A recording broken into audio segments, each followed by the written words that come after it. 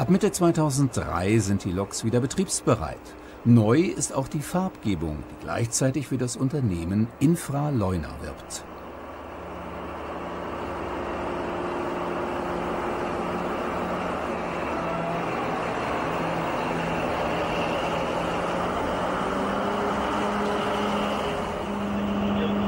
Völlig umgestaltet ist der Führertisch, moderne Technik in einer alten Lokomotive. Herzstück sind aber die neuen Caterpillar-Motoren mit zweimal 1500 Pferdestärken. Die Leistungssteigerung erinnert an 118 405, die 1978 auf 3000 PS mit Motoren aus Berlin-Johannisthal aufgerüstet, später aber wieder zurückgebaut wurde.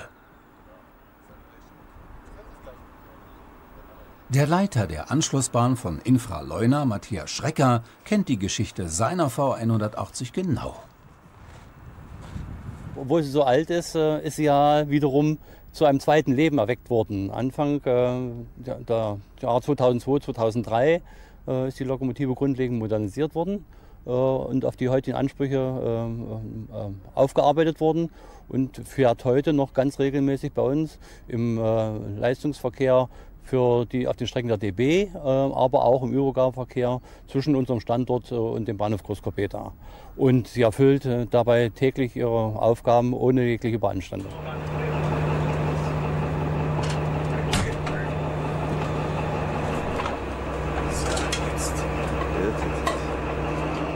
Trotz der Fahrzeugneuanschaffungen bei Infraleuna sind die beiden Reco V180 unverzichtbar.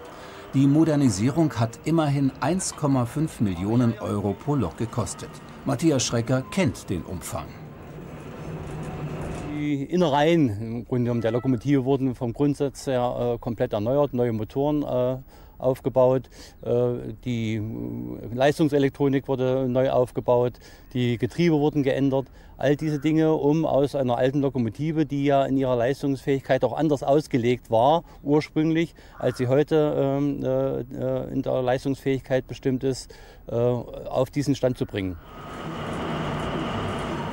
Die Modernisierung scheint gelungen. Alles, was heute für den Betrieb notwendig ist, gehört zur Ausrüstung. Frankreich.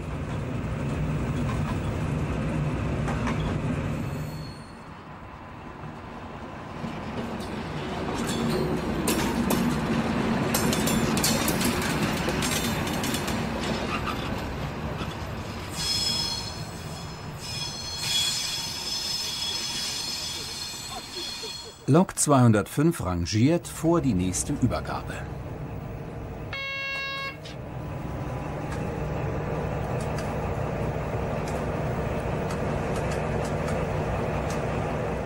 Lokführer Silvius Sturm hat nicht das Gefühl, eine Museumslok zu steuern. Das große Handrad für die Fahrstufen ist durch einen Joystick ersetzt. Das ist alles das Neumodische oder teilregenerierte. Ja, das ist hier das fürs Gas, das ist die Zugbremse, das ist die Lokbremse. Ist halt ein bisschen einfacher. Also die Fahrstufen brauchen Sie jetzt nicht mehr einzeln zu bestimmen? Das kann ich hier mit diesem kleinen Joystick nach vorne Genau, nach vorne und nach hinten. Die nächsten Jahre sind für die beiden Reco V180 von Infraleuna gesichert. Wir setzen weiterhin auf diese Lokomotiven, weil sie hat in den letzten Jahren ihre Zuverlässigkeit bewiesen und ihre Leistungsfähigkeit. Und wir haben daher keinen äh, unmittelbaren Anlass, da irgendwelche Änderungen vorzunehmen. Die Übergabe ist fertig und darf jetzt abfahren.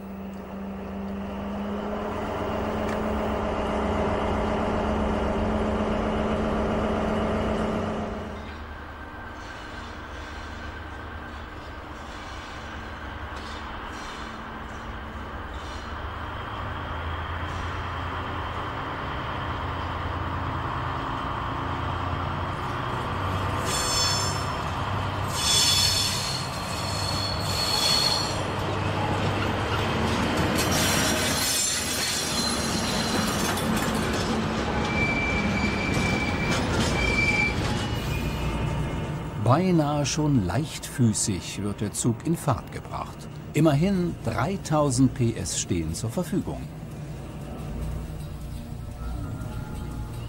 Äußerlich kommt die Maschine eher als Werbelok daher.